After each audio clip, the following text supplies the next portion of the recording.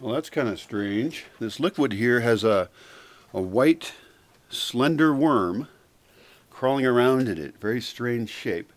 It's not a mosquito larvae. I know what those look like. They're very different. Uh, this is an interesting experiment. What I was trying to figure out was what happens to a bucket of urine if you leave it out. Uh, yeah, because I'm interested in processing urine in different ways. I already have the solution of putting it in a garden beneath the ground and having it compost there. So that's a good solution. But um, I went ahead about three or four months ago and put a bucket of pee out here and to see what happened. Well, it smelled bad and so forth, but it didn't get any mosquito larvae. And now, as I pass it, I noticed these strange white worms. Now, there were insects coming and dying in it, a few moths and other things. And so then the question is, what the heck are they? I mean, they could even be a beneficial insect, for all I know.